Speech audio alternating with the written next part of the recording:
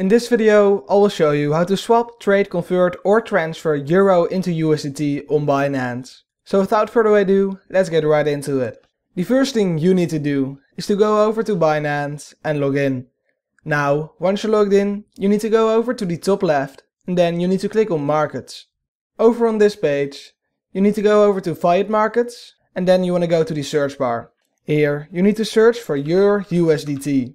You'll then see this pair pop up. And here you want to click on the trade button. Now, you'll be sent over to this page.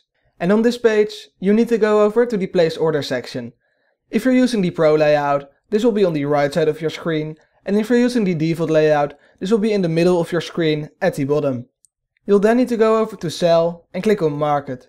The next thing you need to do is to fill in the amount of euro you would like to swap, trade, convert, transfer or however you want to name it into USDT. So for this example, I'll just fill in 20 euro and once you've filled in the amount of euro you would like to swap, trade, convert or transfer into USDT, you can click on sell euro. And as you can see, my order has been filled. If you found this video helpful, let me know by leaving a like or subscribing to my channel for more tutorials about cryptocurrencies.